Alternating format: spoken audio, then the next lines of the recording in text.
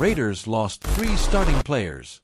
Former Raiders player confronts Antonio Pierce about the playing style has been developed by the coach and IT didn't take him long to give the ideal response. See what a player known for being nasty was able to do during the holiday. Subscribe to our channel to receive exclusive Raiders insights.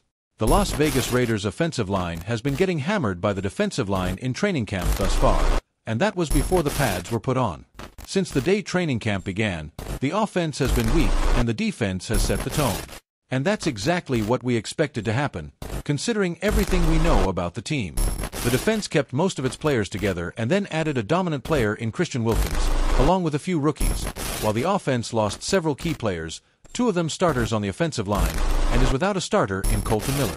So things were going to be bumpy to start, and we knew it. However, the defense is making them look like the 2022 Denver Broncos with Russell Wilson and Nathaniel Hackett. A lot of those issues come from the offensive line, which, as I said, is without three starters from last year and has Dylan Parham at right guard instead of left guard like last season. With the first day of guards being Tuesday, a Raiders legend, or fan favorite, I should say, had a word with the offensive line. Richie Incognito talked to the team last night, Antonio Pierce said before Tuesday's practice. Whatever you think he said, he probably said. Whatever Incognito, who is known for being a nasty player in the way he played and talked on the field, said must have worked, because the offense was much better.